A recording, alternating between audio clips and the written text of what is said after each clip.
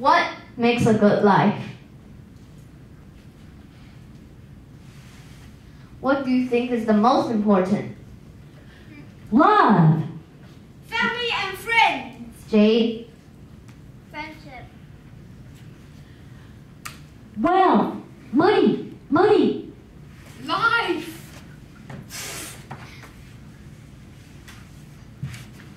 What do I do? What do I think is the most important? First, I think family is the most important thing because, for example, if you don't have a family, you can you can't imagine anything, and you can't do anything, and maybe you will think of suicide. If you don't have a family, no one can help you and cheer for you.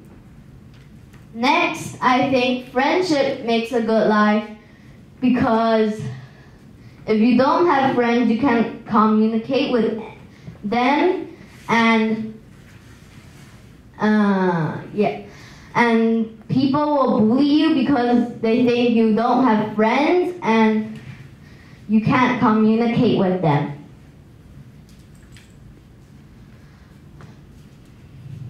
Next, I think communication is the most important thing because if you can't communicate, then you can't talk to the teacher and answer question to the teacher and can't talk to your family and friends.